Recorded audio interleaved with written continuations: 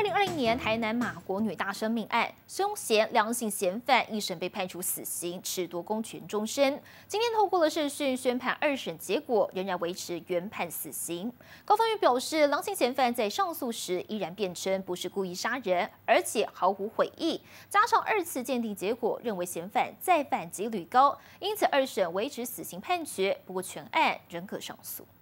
二零二零年震惊全国的马国女大生命案，凶手梁姓嫌犯一审判处死刑，褫夺公权终身；二审上诉遭到驳回，维持死刑。而远在马来西亚的女大生妈妈稍早前透过脸书回应：“谢谢大家关心，正义得以伸张。”刑罚的部分，本院仍然维持原审的死刑。主要理由，本院是认为说，本案被告的行为是属于预谋而有计划的犯罪。原审以及本院。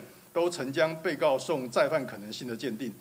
那结果均认为被告的再犯可能性是高的。当时梁姓嫌犯锁定深夜独自离校的中姓女大生，掳杀后弃尸。一审桥头地院认为他手段凶残，再犯率超过五成，判处死刑。二审上诉，梁姓嫌犯仍一再否认是故意杀人，供词避重就轻。两次鉴定结果态度防卫，而且毫无悔意。法院判定维持死刑，全案可上诉。而梁姓嫌犯犯案过程，法官也认为时间顺序有些不同。本院是认为说，呃，这样的一个。证据资料是认定不出来说他是在强制性交后而勒紧那个绳索将被害人呃勒毙，而是认为说应该在实施强制性交时就是有勒紧绳索的行为。两性嫌犯在看守所透过视讯听到判决结果，当下面无表情，而女大生家属悬着的一颗心总算能稍微放下，只盼司法能尽快还给女儿一个公道。记者陈晓志远高雄采访报道。